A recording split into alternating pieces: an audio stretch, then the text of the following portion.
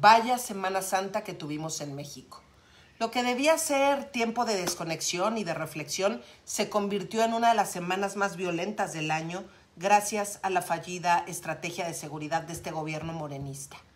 Del primero de abril al 7 fueron asesinadas 506 personas en el país, un promedio de 72 personas al día. Nos enteramos de balaceras en zonas turísticas, de masacres, de personas desaparecidas, incendios de automóviles, mientras que los encargados de la seguridad en el país decían que todo estaba de maravilla y garantizado para la Semana Santa. En la zona turística de Acapulco se dieron dos ataques, el primero en la playa Dominguillo y el segundo en Caleta, sin importar que ese destino turístico tuviera más del 70% de ocupación hotelera. En Cancún, en pleno bulevar, uno de los más concurridos por los turistas, fueron asesinadas cuatro personas.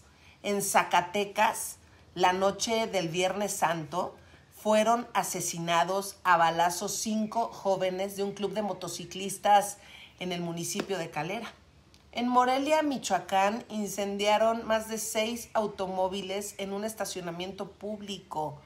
En San Luis Potosí, lo que era una búsqueda de 23 personas que viajaban en transporte turístico, se convirtió en la aparición de 122 víctimas de secuestro en Matehuala, migrantes en su mayoría.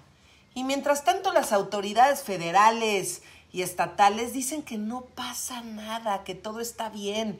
México se está convirtiendo en un cementerio donde las familias no pueden ni salir de vacaciones con seguridad y con tranquilidad. Hay que alzar la voz. El gobierno federal tiene que actuar ya. Basta de abrazos, basta de abrazos.